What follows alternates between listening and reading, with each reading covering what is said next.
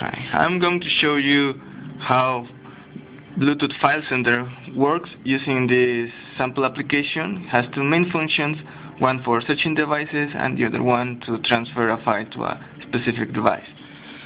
We need to have Lookaway running in the background. The first time you run it, you have to select the Java WEXE file, which is here, and this location for me.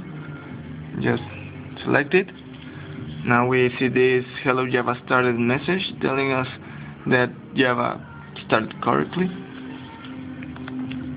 And now we have to turn on our bluetooth on our device. Also we have to set it as visible so we can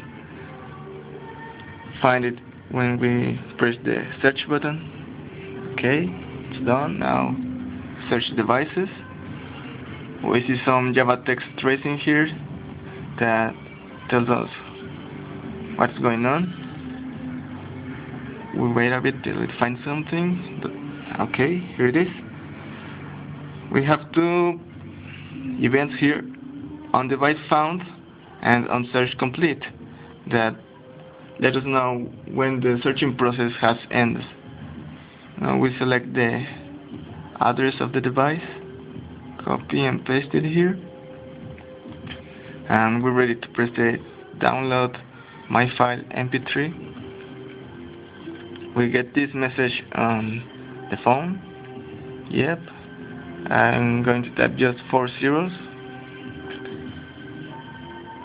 Okay. Yep. Just accept all the incoming connections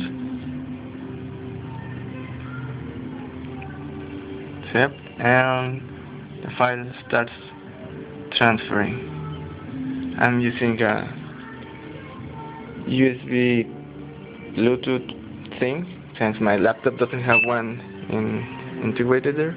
Uh, that sound is because the battery is running out. Okay, 65%. Yes, um, you, you can transfer MP3 files, um, or whatever format you want. Here we have it.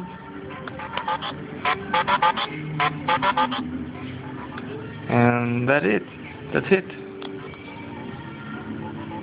We, uh, oh yeah, the file can started. It's an an event that also is being dispatched so you know when the the transferring process has started. You can show an animation or something. And on send file complete event which is pretty self-explanatory. And that's it. That's how it works